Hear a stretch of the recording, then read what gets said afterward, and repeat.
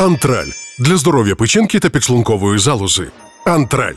Слава Україні, слава силам оборони України. Вітання усім глядачам 24 каналу. Протягом цієї години ми поговоримо про точні координати атаки корабля Сергій Котов, про атаку на Одесу та як росіяни продають українців на чорному ринку військовополонених. Про це згодом і також, як завжди, прошу вас долучитися до актуальних зборів 24 каналу. Будь ласка, скануйте цей QR-код і переходьте до допомоги нашим українським військовим захисникам та захисницям. Кожна ваша гривня вона важлива. Мене звати Ольга Білан. і Далі до головних оперативних новин. Повідомляється, що під час зустрічі в Одесі президента України Володимира Зеленського та прем'єра-міністра Греції Росія завдала удару по місту. Про це під час спільного брифінгу повідомив український лідер. Процитую президента України Володимира Зеленського. Ми бачили сьогодні цей удар. Ви бачите, з ким ми маємо справу. Їм все одно куди бити по військових чи цивільних. Я знаю, що сьогодні були жертви всіх деталей. Не знаю ще, але знаю, що є загиблі та поранені. За словами самого прем'єр-міністра. Ем... Під час удару вони перебували в одеському морському порту. Зеленський та його штаб показували порт і розповідали про його конкретне призначення. Також про те, що треба, щоб розширити можливості морського коридору для цивільних суден. І як сказав грецький прем'єр-міністр, процитую його слова вже наприкінці. Ми почули звук сирен і були вибухи, які дуже близько відбулися біля нас. Ми не встигли піти у якесь захищене місце, і тому це дуже вражаючий досвід. Ми розуміємо, що ця війна стосується абсолютно всіх. Немає людей, які знаходяться поза цією війною. Ця війна не милує нікого. Я ж нагадаю, що сьогодні вночі дійсно російська армія ще запустила по Україні 42 ударні безпілотники, з яких 38 вдалося ліквідувати. Зокрема, шахеди знищені на території Одеської, Сумської, Херсонської, Дніпропетровської, Харківської, Черкаської, Хмельницької та Вінницької областей. І далі про те, як намагалися вбити, але поки не вдало. Про російські блогери, пропагандист Анатолій Шарій, який втік до Іспанії, виклав відео, де стверджує, що його і дружину намагалися вбити, обстрілявши машину з автомата з глушником. Нападників, за його словами, було щонайменше двоє. Только что меня и жену пытались убить, пытались обстрелять автомобиль, э, автомат с глушителем. тип один, второй, по всей видимости, был на подхвате, потому что следили, когда там заезжаю и так далее. Вот, сейчас разбираемся, ну, я не знаю, как бы, я не знаю, как бы, что с этим делать. Об этом должна думать испанская, наверное, полиция, испанские спецслужбы. Пропагандист стверджує, що менше ніж тиждень тому іспанські правоохоронці отримали інформацію про підготовку замаху на нього. За його словами, силовики Іспанії, нібито знають за прізвищами і в обличчя тих, хто готував напад. До речі, у жовтні минулого року Шарій скаржився, що в Іспанії його дім намагалися підпалити за допомогою коктейлів Молотова. В мережі з'явилося е, відео тоді ще, де можна було побачити, як у напрямку будинку летять ці коктейлі Молотова. Хто саме атакував будинок, блогера наразі невідомо. Що відомо взагалі про справу Шарія? Ще в лютому 21-го року Шарію оголосили підозру в державній зраді та порушенні рівноправності громадян. В СБУ зазначили, що Шарій займався дискредитацією державної політики України, умисно та цілеспрямовано поширював маніпулятивну викривлену інформацію щодо урядових ініціатив і подій на сході країни для загострення та дестабілізації ситуації. Це підтверджувала експертиза інтерв'ю та. Виступів Шарія у травні 22-го року. Шарія навіть затримали в Іспанії, але місцевий суд відпустив його під Підписку про невиїзд. Тодішня генпрокурорка України Ірина Венедіктова просила українців утриматися від емоційних і жорстких коментарів на адресу Шарія, щоб пропагандист не використав це для заяв, нібито його переслідують за політичними мотивами. Улітку 23-го року Шарію повідомили про нову підозру в державній зраді. Слідство зазначає, що він організовує з Іспанії піар-акції проросійської спрямованості, створює та поширює політично заангажовані тенденційні сюжети антиукраїнського змісту. Нагадаю, що в ніч на 5 березня корвет Сергій Котов е, Чорноморського флоту Росії перебував поруч з двома кораблями, які перевозять вантажі для Росії. Завдяки відео, відзнятим на місці влучання морських дронів Магура Ві 5 вдалося встановити точні координати атаки. Точка удару за 20 кілометрів від незаконно збудованого Кримського мосту. Процес встановлення координат удару детально описав осінь розслідувач з ніком Ді Моджевензіс у соцмережі X. Осінт-розслідувач та інші дослідники вивчили відео, зняте з корабля, який опинився неподалік від корвета Сергій Котов. На записі видно, що праворуч від російського судна перебуває вантажний корабель. За обрисами встановили, що це твін Стар, який регулярно робить рейси в окупований тимчасово окупований Крим чи у російські чорноморські порти. Крім того, встановили корабель, з якого знімалося відео. Він називається Айдел 4 Інформація системи стеження за морськими суднами показала його маршрут біля Кримського мосту. Завдяки цьому визначили, у яких точно координатах він перебував у момент атаки. Після цього уважно вивчили панораму нічного порту, яка на мить з'явилася в кадрі, і знаючи, яка це частина Кримського узбережжя, розміри та координати кораблів Star та Айдел 4 Усі розслідувачі зуміли точно встановити місце атаки морських дронів ГУР. Корвет Сергій Котов потрапив під е, удар дронів Магура 5 у точці з конкретними координатами. Вони повідомлені. Точка розташована за 8 кілометрів від берега Криму, неподалік від населених пунктів Завітне та Яковенкове. Українські безпілотники вдарили по цілі за 20 кілометрів від Кримського мосту, здолавши для цього майже 600 кілометрів від найближчого берега України. І внаслідок знищення російського корабля Сергій Котов ем, скільки взагалі членів екіпажу отримали поранення та скільки загинуло. Прес-служба головного управління розвідки ГУР Міністерства оборони України пише, що за уточненою інформацією, що не менше 27 членів екіпажу знищеного поблизу Керченської протоки російського корабля зазнали поранень різного ступеня тяжкості. Згідно з попередніми даними, сім російських моряків загинули. Розвідці додають, що інформація щодо втрат росіян і надалі уточнюється.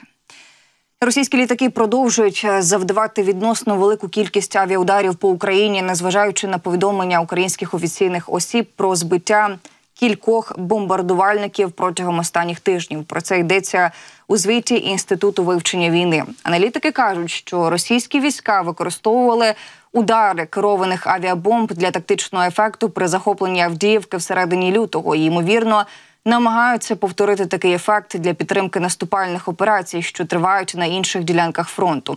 Вони посилаються на повідомлення видання Forbes від 4 березня про те, що російські літаки су 34 та су 35 здійснюють по 100 і більше вильотів на день для здійснення бомбових ударів по українських позиціях на відстані близько 40 кілометрів. Газета Нью-Йорк Таймс 5 березня повідомила, що російська тактика змінюється в бік інтенсивності операції у повітряному просторі, та що більш агресивна повітряна підтримка російських військ на лінії фронту допомогла росіянам останнім часом просунутися вперед на сході України.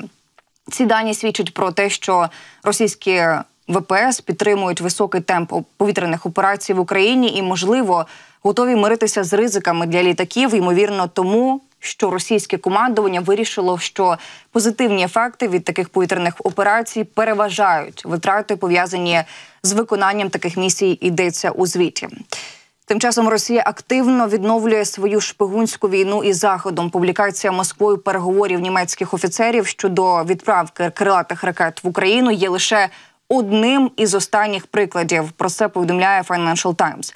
Співробітники західної розвідки заявили, гра в кішки-мишки відновилася. Активність Росії настільки ж висока або навіть вища ніж за часів холодної війни. Російська розвідка це величезна машина, і вона знову робить те, що робила завжди. Майже щотижня спливає чергова таємна операція, що показує, як далеко проникли російські спецслужби в Європу. Відтоді як два роки тому Москва почала повномасштабне вторгнення в Україну. Очевидна активізація розвідувальних операцій під керівництвом Кремля свідчить про нову впевненість російських шпигунів після принизливих невдач, з якими вони зіткнулися на початку 22-го року, кажуть співробітники розвідки та аналітики. Спочатку західні агентства оприлюднили плани Москви щодо вторгнення в Україну. Щойно російські танки почали рухатися до Києва. Європейській столиці вислали 600 дипломатів, близько 400 з яких, як вважається, були шпигунами. Також було виявлено кілька російських нелегалів, агентів, які діють без дипломатичного прикриття. Коли російське наземне вторгнення застопорилося, Путін посадив під домашній арешт вищих керівників ФСБ за грубу помилку в оцінці українського опору. Відтоді основні російські спецслужби ГРУ. ФСБ і СЗР перегрупувалися і перебудували свою шпигунську роботу, щоб підвищити шанси Росії у звичайних військових операціях. Пріоритети залишилися тими самими, що й до війни, використати західні секрети, внести розкол у лави НАТО і підірвати підтримку України. Якщо коротко, в загальному про російське шпигунство у світі нещодавно у Великій Британії була викрита група людей, які за даними правоохоронців займалися збором розвідувальної інформації на користь Росії.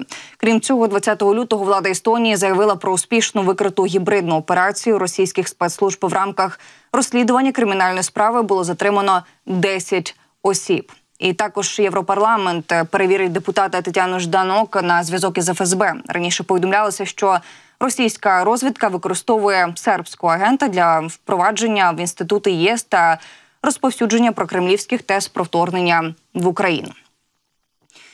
Росіяни продають українців на чорному ринку військовополонених. Про це в інтерв'ю The Times розповів Петро Яценко, прес-секретар українського координаційного штабу з питань поводження з військовополоненими. Яценко розповів, що чеченські воєнізовані групування активно купують полонених українців у інших російських військових підрозділів.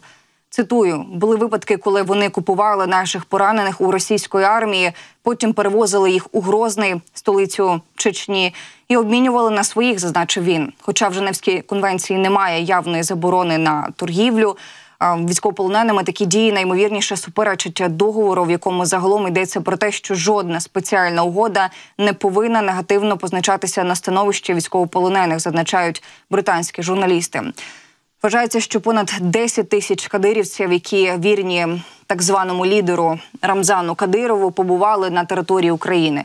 На початку повномасштабної війни вони брали участь у боях у районі Маріуполя, Сєвєродонецька та Лисичанська, але з плином часу їхня участь звелася до охорони та логістичних операцій у віддалених від фронту місцях. Тому як Зазначається, у них зараз менше можливостей самостійно захоплювати солдатів противника, що може пояснити, чому вони вдаються до купівлі полонених українців, яких потім можна обміняти на чеченців, які перебувають в українських таборах для військовополонених. Прикладом того обміну є випадок 41-річного В'ячеслава Левицького, який був узятий у полон ополченцями. Донецької так званої народної республіки в лютому 23-го року, а потім проданий чеченцям, е, кадирівцям. Точніше, він був поранений в обидві ноги та живіт під час нальоту на його позицію в лісах на північ від Авдіївки. Після кількох днів у полоні його відвезли на позицію кадирівців і потім у Грозний. Там йому ампутували обидві ноги і. Руки також піддали тортурам. Він був звільнений у червні 23-го року у межах обміну на українських полонених. Е, видання зазначає, що на сьогодні було повернуто понад 2700 українських військовополонених. Хоча точна кількість росіян, які перебувають в українському полоні, невідома. Вважається, що понад 4 тисячі українських військовослужбовців все ще перебувають у російському полоні. Понад 90% військовополонених, яких е, ми опитуємо, цитую після їхнього повернення, кажуть, що їх піддавали тортурам, позбавляли достатнього харчування і сну. Людей змушують випалювати татуювання або вживати лише російську пропаганду. Їм не дозволяють спілкуватися з родичами. Розповів Яценко британським журналістам. І з нами на прямому зв'язку вже є наш перший гість, якого долучаємо до прямого ефіру. Це Петро Черник, військовий експерт. Пане Петре, я вас рада бачити. І слава Україні. Героям слава. Пане Петре, розпочнемо ми з того, що український безпілотник вдруге за ранок ем, вдарив по гірничо-збагачувальному комбінату в Курській області Росії. Зараз продемонструємо це відео, оскільки це одне із найбільших у Росії та СНД підприємств з видобутку та збагачення залізної руди. То якими можуть бути збитки для країни агресора, або якими ці збитки вже є? Ну, якщо йдеться про те, що там зараз е, горить паливо, то поки що ще нам дуже рано радіти. Це якби був уражений цех, там, скажімо, з того, що там переробляється це за літо, тобто безпосередній прямий функціонал, то це одне, а паливо то трохи інше. Сам факт того, що завдаються економічні збитки Російської Федерації, неймовірні до. Добре, я дуже люблю історичні паралелі. Маю нагадати, що нацистська Німеччина зазнала краху тільки тоді, коли британсько-американське бомбардування зачепили їхню у першу чергу переробну промисловість, так званий синтетичний бензин, і у симетричній частині, точніше у несиметричній частині, відповідь нищення нашого противника лежить саме у таких ударах. На жаль, нам не надають тої кількості зброї, котра і тої якості, котра може по справжньому зламати хід війни. Отже, мусимо здаватися до таких акцій. Єдиний момент це масштабованість, масштабованість і ще раз масштабованість. Вітається такий крок, але одного такого кроку замало. Навіть кілька на добу замало. Треба, щоб їх було 5, 6, 7 до десятка, і хоча б упродовж місяця. От тоді точно буде ефект. Ми також бачимо, що паралельно з цим е, у російській туві. Сьогодні також стався потужний вибух у місті Шагонар е, на місцевій ТЕЦ. Одна людина загинула, ще 22 людини отримали поранення. Про це повідомила місцева влада у середу, 6 березня. Ось ми бачимо. Цей вибух він досить потужний і і здіймаються великі клуби диму. Це попереднє відео демонструють. А але про що може свідчити саме цей вибух на цій ТЕЦ у Туві?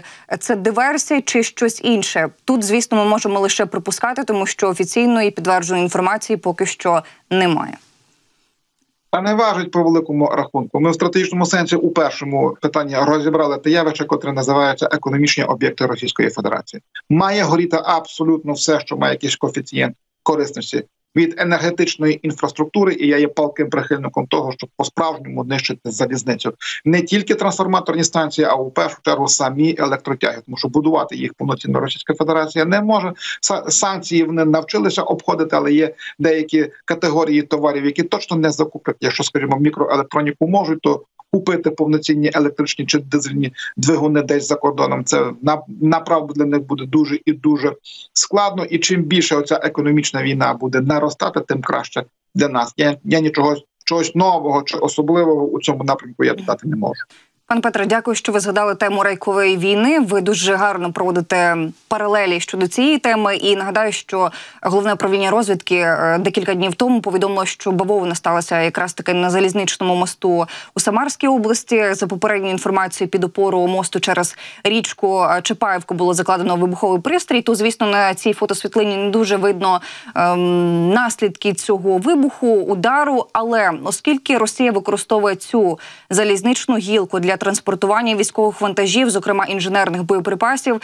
Наскільки це і на якийсь е, час пошкодить це перевезення? Ми розуміємо, що залізниці на території Росії вдосталь і багато, і це одне з що трапилося ускладнить на декілька тижнів, ускладнить, пригальмує довезення якихось вибухових речовин до лінії розмежування. Я направду залишаюся палким прихильником саме е, такого типу ведення. війни. знову ж таки історична паралель. 1943 рік, так звана рейкова війна. До речі, автором її був українець, коли на Курській дузі німці зазнали пониження логістичного забезпечення більше ніж на 70%, тому що більше ніж 3600 ешелонів було пущено під укіз, 25 тисяч партизанів було тоді задіяно. Ми розуміємо, що такими масштабами ми воювати не можемо, але це, до речі, вже не перший випадок бавовнування на залізниці. Кілька місяців тому було щось. Е, подібно на на байку на байка на Амуро-Байкальській байкальській магістралі. Ми можемо тільки вітати такі акції, але даруйте, буду повторюватися. Може, це вже не зовсім і коректно, але все ж таки скажу знову. Е, масштаб цього явища буде мати значення. Ті, що ці точкові уколи відбуваються, це прекрасно, але це точкові уколи, які в стратегічному сенсі поки що не підривають ту той уклад мереж залізниць. Який є в Російській Федерації, Російська Федерація до речі за густиною, особливо у європейській частині своєї території, входить у чільні країни світу. Страждає не тільки залізниця і нафтопереробні заводи, і все інше, але й страждає Чорноморський флот Російської Федерації. Тут давайте почну саме з нас. Служба безпеки України продемонструвала перший морський е, дрон Сібейбі, який був виготовлений завдяки такому масштабному волонтерському збору. Зараз продемонструємо е, дрон. Це дрон, який отримав назву Авдіївка, оскільки новий Сібейбі 2024 має вдосконалені технічні характеристики, більшу бойову та маневрену спроможність. Чого очікувати від морського бою? Це більш риторичне запитання, але хочу почути аналіз ваших думок, аналіз того, що відбувається останній час в Чорному морі, і звісно, що е, буде в майбутньому. Та чого очікувати? Та очікувати подальшого винищення рештків їхнього флоту, бо його вже важко назвати флот. Це вже е, така собі флотилія. Ми утопили вже більше ніж 20 кораблів з підводним човном, в тому числі. Правда, він не утоплений, а знищений у сухому доці. Ця робота точно буде продовжуватися надалі. Чим більше того всього брухту піде на дно, і особливо щоб екіпажі йшли на дно. Бо при тій якості інтелекту, який є у середньому розумінні середньостатистичного мешканця Російської Федерації готувати такі екіпажі буде все важче і важче, але є нюанс. Навіть якщо потопимо абсолютно все, що там у них залишилося, а потенціал ще залишається. Це як мінімум два важкі фрегати класу буревізник адмірал е, Макаром, які можуть брати на борт до восьми ракет типу калібр, і ще десь до півтора десятка малих ракетних кораблів різного класу. Каракурт е, Е, Буян М, Каракурт, Василій Биков, ото якийсь буквально на днях був е, пошкоджений. І найдошкульніші це підводні човни проекту 636 Варшавянка, котрі можуть до чотирьох калібрів брати спеціальні модифікації і запускатися із під води. Тобто, ще певний потенціал є. Але є ще один момент на ньому загострю. Якщо все потопимо, абсолютно все до останньої баржі, шлюбки, то розуміємо, що цей театр воєнних дій не змінює лінії боєзіткнення. Доля цієї війни буде вирішуватися на сході України. Чи з точки зору престижності завдання ударів державою, котра не має флоту по державі, котра пишалася, що мала потужний флот у вакатворі Чорного моря, важить, важить, тому що на навіть ті не, невеликі морські проекти, які вони розробляють для інших країн, скажімо, для Індії, однозначно будуть поставлені під сумнів і задумуються держави, котрі в них купляли певну техніку морського класу, чи вартує її в них купляти. Ну, звичайно, гроші е, останній корабель це 65 мільйонів е, доларів. Але ще раз і ще раз і ще раз не буду втомлюватися це говорити. Вирішиться все по головній лінії розмежування на суходолі. Але якщо Україна матиме ось такі відповідні інструменти в більшій кількості, говоримо ми і про підводні і надводні дрони. Чи може Росія потенційно остаточно втратити будь-які стратегічні переваги, зокрема на півдні України, на Кримському півострові і загалом в акваторії Чорного моря? Ну про Кримський півострів говорити і ударні безпілотники абсолютно некоректно. Кримський півострів правильно буде, я би то правильно перемелюватися все, що там є у воєнній інфраструктурі. В першу чергу ракетним потенціалом, як крилатими, так і може вже нарешті до нас надійдуть ці, ці вже. Перегріті атакам, отам лежить філософія відповідь е, е, філософія відповіді. А в частині, що стосується акваторії Чорного моря, то ми по факту вже досягнули стратегічного паритету. Оці безпілотні системи виправдали себе на 100% повністю. А туди все, що ближче до узбережжя Одещини, то не забуваємо, що є прекрасні ракети AGM-84 Гарпун, плюс наші українського е, розроблення Р-360 Нептун. Я вже не вірю ні в які. Ні в які морські десанти, це, це попри те, що в них ще є певний е, потенціал великих десантних кораблів е, е, проекту 775 і проекту е, Тапір можемо констатувати, Російська Федерація втратила свою стратегічну перевагу в акваторії Чорного моря, але ще не повністю обнулена. Пан Петре, щодо Кримського півострова, абсолютно з вами згодна щодо ракетної компоненти. Тому я і сказала, що і Надводні підводні дрони і не тільки маючи на увазі саме і ракети, і безпілотні літальні авіаційні комплекси, які ми маємо або в майбутньому е, будемо сподіваємося на це мати. Е, начальник головного управління розвитки Міноборони Кирило Буданов заявив нещодавно, що сьогодні триває робота над тим, аби посилити морські дрони Магура Ві 5 І зараз спеціалісти працюють над тим, е, щоб на безпілотну платформу поставити саме засоби протиповітряної оборони. Як вам така ідея оснащення, і наскільки вона може бути ефективною? Ну треба дочекатися конкретних результатів. Я людину факту доки не побачив і не зрозумію, що з ним вдосконалити і в який спосіб він буде працювати. Я не буду займатися аналітичним гаданням. Пане Петре, щодо ремонтних заводів, ем, ви казали про ем, так ем, те, що росіяни можуть витрачати багато грошей на свої власні кораблі. Але якщо говорити про ремонтні заводи на території тимчасово окупованого півострова і на території Російської Федерації, чи спроможні вони зараз ремонтувати ці кораблі? Пошкоджені? Ми не кажемо про знищені і. Ем, також чи буде надалі у них така можливість це робити, тому що звісно інтенсивність е, ліквідації знищення російських кораблів катерів вона буде продовжуватись. Наша стратегічна перевага склалася у тому, що ми зуміли вигнати рештки їхнього флоту у першу чергу із Кримського півострова, із Бух Севастополя і Феодосії.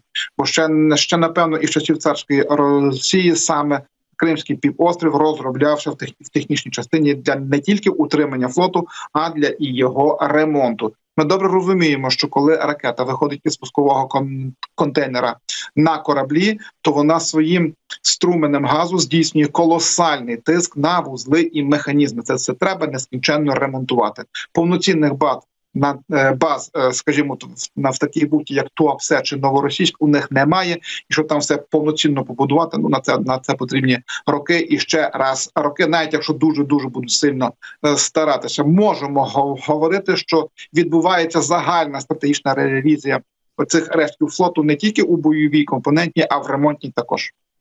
Пан Петре, вам дякую за вашу фахову та професійну думку. Дякую за ваші відповіді на запитання. Нагадаю, що Петро Черник, військовий експерт, був на прямому зв'язку. Далі ми будемо долучати е, наступного військового експерта, з яким поговоримо про авіацію. Я додам е, на початку. Ми з вами згадували про те, що Росія завдала ракетного удару по Одесі під час того, як е, там проїжджав кортеж президента, і що Володимир Зеленський заявив на публіці, прокоментував сьогоднішній ракетний удар по Одесі. Президент зазначив, що є загиблі поранені внаслідок удару. Проте деталей не повідомив. Але тим часом з'явилася інформація щодо того, що Україна та Греція розпочали підготовку двосторонньої угоди щодо безпекових гарантій і нашої співпраці співпраці.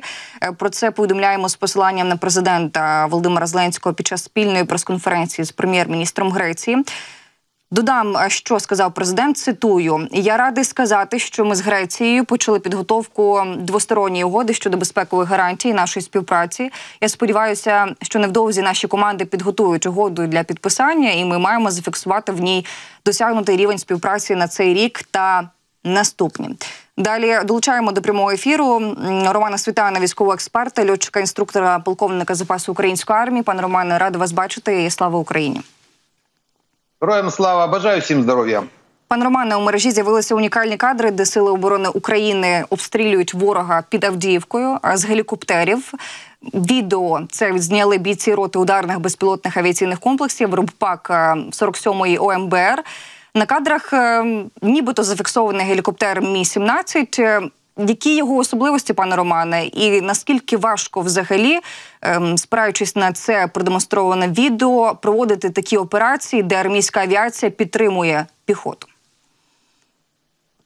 Так сложилось, в 95-м году переходили с истребителей на вертолеты, полетал на двух типах, на Ми-2 и на Ми-24. Ми-24 это боевой вертолет. Э, вот Ми-17 и Ми-8 э, это транспортники, но их используют в том числе для выполнения боевых задач, подвешивая блоки э, УБ, так называемые, разного, разного уровня. Выполняют задачу, мы вот видели сейчас очень, очень хорошо снято, на предельно малой высоте, в несколько метров. Вертушки идут, стелятся у земли, Потом э, на дальностях э, где-то километров э, за 7-8 до точки удара поднимают нос, увеличивают углы атаки.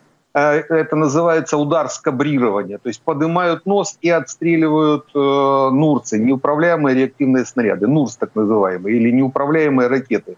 Э, нары, по- по-разному их называют. Э, их э, может быть большое количество разного уровня. В основном это С-5, восьмые, тринадцатые. У нас есть э, сейчас, нам передали Гидро-70, а, тоже неуправляемые реактивные снаряды. Вот идут, идут сейчас переговоры с передачей канадских Нурсов, это примерно тот же Гидро-70. То есть у нас большой спектр Нурсов, вот они идут где-то 7-8 километров. Вот с такого кабрирования подняли нос, отстреляли, развернулись и ушли, опять прижались к земле под лучами локаторов э, российских зенитно-ракетных комплексов а дальность 7-8 километров э, э, не дает возможности российским ПЗРК, переносным зенитно-ракетным комплексам, которые э, уничтожить наш вертолет, которые бьют где-то на дальность километров до 5. Ну, то есть вот как раз до 5 километров до линии боевого соприкосновения выполняется эта задача. Большая проблема у наших вертушек — это российские самолеты.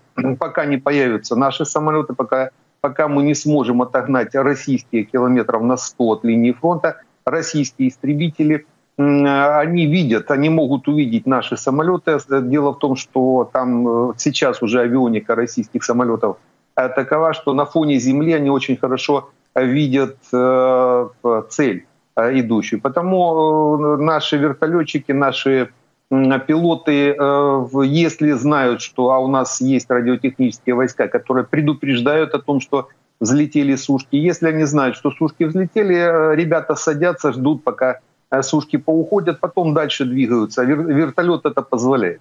В последнее время мы получали и Ми-8, и Ми-17, которые на базе Ми-8 э, в принципе созданы. И вот мы увидели, как пара работает. Это такая основная боевая единица, она и в вертолетах основная боевая, и э, в самолетах, то есть в истребителях тоже основная боевая единица – это пара. Про Нурси більш детальніше, які не тільки підходять до е, гелікоптерів. Якщо ми говоримо про ракети серії 8 про які ви згадали, е, Канада дійсно наблизилася вже до ухвалення остаточного рішення щодо постачання Україні саме цих авіаційних некерованих е, реактивних снарядів. Тобто, замість списання цієї зброї вона буде передана нам. Ми бачимо ось цю некеровану авіаційну ракету серії 8 в себе на екранах. Який калібр, бойова частина відповідно як ракета інтегрована і куди саме бачимо Апач, F-16, які ми отримаємо, а 10 Thunderbolt і так далі, і тому подібне. Е, пане Романе, про яку кількість може йтися тут цих ракет, тому що казали про тисячі, і на що здатні ці ракети?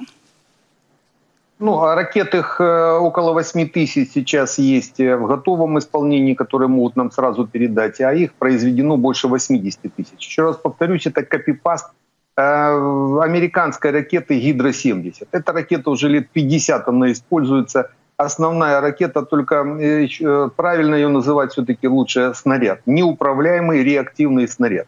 Она не управляется, то есть она идет по определенной траектории, как вы направили в ось того блока, в который встроена ракета, так он и уйдет. Вот эти ракеты серви 70 канадские, они могут отстреливаться из блоков э, по 19 ракет. Этот блок может быть подвешен на наши вертолеты. Он, э, а мы уже работаем э, Гидро-70. То есть мы американскими ракетами, ну, аналоги этих канадских, мы уже ими работаем. У нас эти блоки есть, они уже подвешены. Может быть, как раз и то, что мы сейчас видели, это тоже работа то, той же Гидро-70, считайте, кана, канадской ракеты. Возможность есть. Дело в том, что эти ракеты сейчас в Канаде они уже списаны, и там заключен договор с фирмой, которая их утилизирует, утилизует э, э, на, практически на всю сумму, то есть на, на весь объем этих ракет надо просто успеть до утилизации, а успеть их перекупить, может быть, э, ну, здесь есть механизмы разного уровня, то есть дипломатические, какие-то экономические. Оптимальный вариант этим заниматься военному атташе – для того, чтобы эти ракеты получить и отработать вот в таком режиме, как сейчас э, работали верхушки. Э, в таком режиме мы можем отработать, во-первых, вертолетами, всеми вертолетами практически, которые у нас есть, и могут эти блоки брать. Э, Су-25 можно работать, но надо будет пилоны чуть переделать, и Су-24. То есть это стандартный либо штурмовик, либо бомбардировщик, который может работать с этими блоками. Про те, що нині використовують росіяни, ворожі війська використовують кулькові осколкові авіаційні бомби. Про це повідомила поліція Сумської області. Ворог дистанційно мінує північ Сумщини ось такими кульковими бомбами. Як ви бачите в себе, окупанти скидають касети, які містять понад 500 е, кулькових авіабомб масою по 400 грам. Е, пане Романе, якою є зона ураження цих е, бомб? Яку загрозу вони несуть безпосередньо для цивільного населення і не тільки?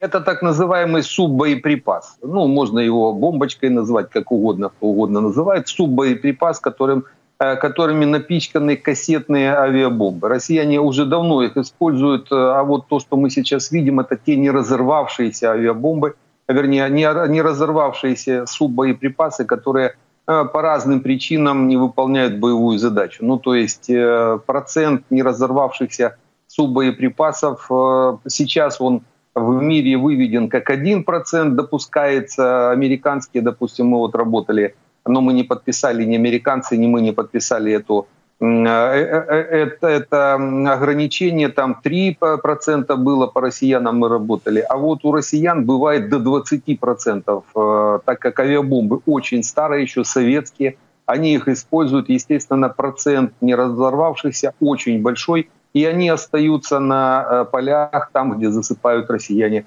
и высыпают эти авиабомбы. Разного уровня бывает, они используют авиабомбу кассетную, бывают Э, ракеты неуправляемые э, отстреливают э, с РСЗО. Они также несут, могут нести такого рода кассетные боеприпасы. Много не разорвавшихся. Именно они являются большой проблемой. При обстреле радиус поражения, допустим, этого суббоеприпаса 3-4 метра, не больше. То есть он, в принципе, небольшой.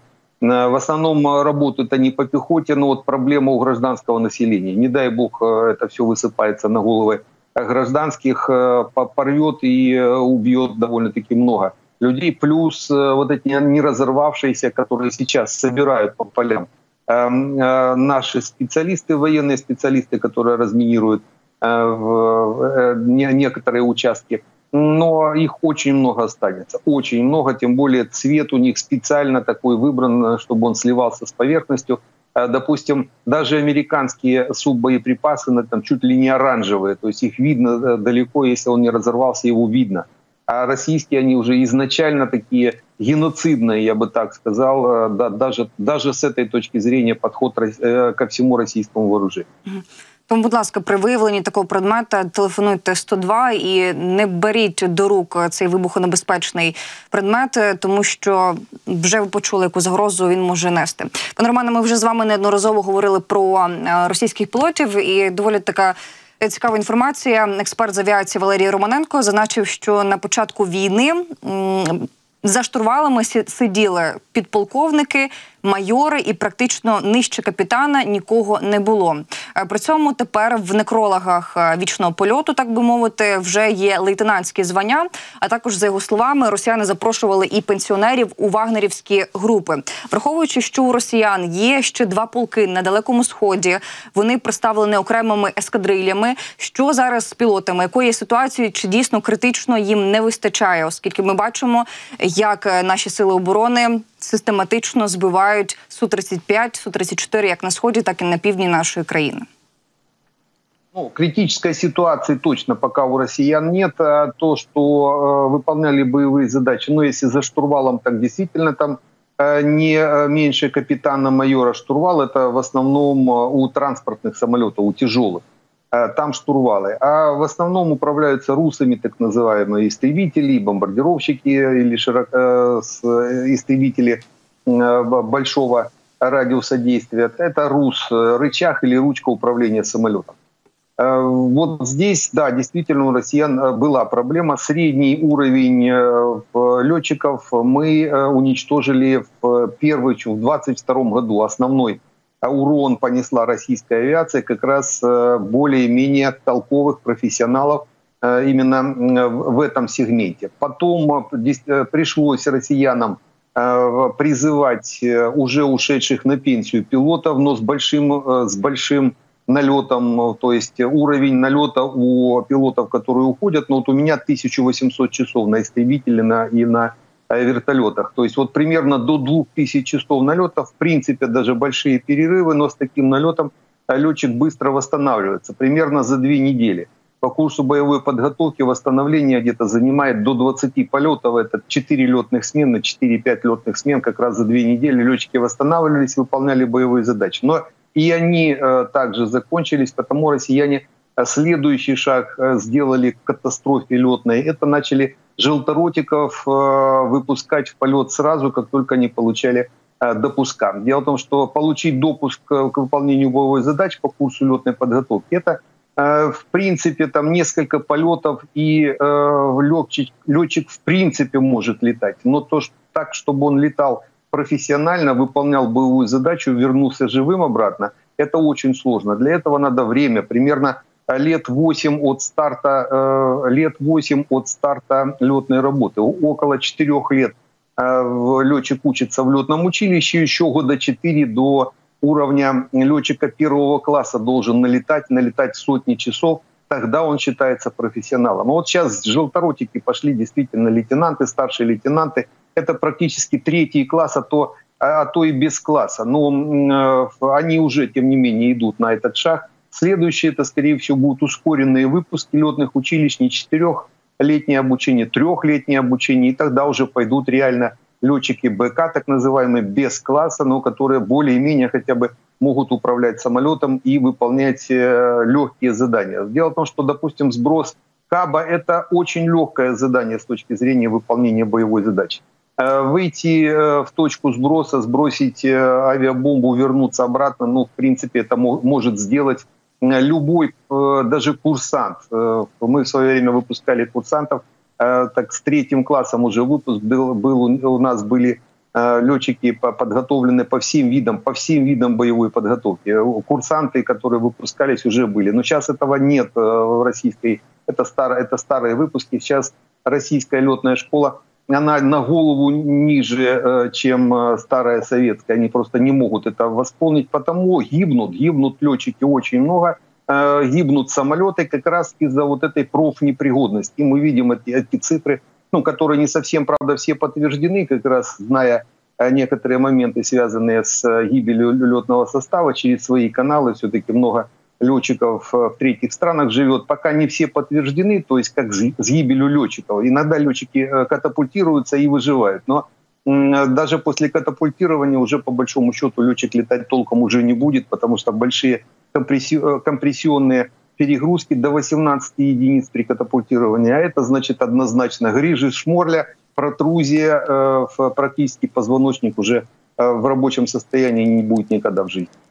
Пане Романе, я вам дякую за цікаву інформацію, е, як завжди, і дякую за те, що ви пояснили все доступно і простими словами, що найголовніше на власному особистому досвіді. Це головне. Роман Світан, військовий експерт, льотчик інструктор, полковник запасу української армії, був з нами на прямому зв'язку. Тим часом 18.01 на годиннику. Я з вами не прощаюся. Кажу до зустрічі за 20 хвилин.